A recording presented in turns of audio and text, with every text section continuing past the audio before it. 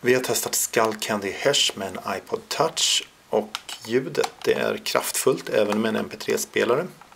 Men de olika frekvensområdena de är inte så åtskilda som man hade önskat. Och det gör att ljudbilden både saknar rymd och närhet. En positiv sak är att stoppningen här den är riktigt skön. Även upp till och det gör att man kan ha på sig lurarna i flera timmar utan att det blir ansträngande. Byggkvaliteten den är ganska låg. Det både knarrar och knastrar när man tar i dem så här. Och allting i stort sett är gjort av plast. De finns dock i mängder av olika färger och designer. Eh, så där är det bara att välja och vraka. De följer med en sån här liten påse när man köper dem. Att förvara dem i. Och är intresserad att läsa mer om de här lurarna så kan du gå in på vår hemsida. Är du på Youtube just nu så klickar du här nere på länken. Är du på vår hemsida just nu så hittar du priser här borta till höger.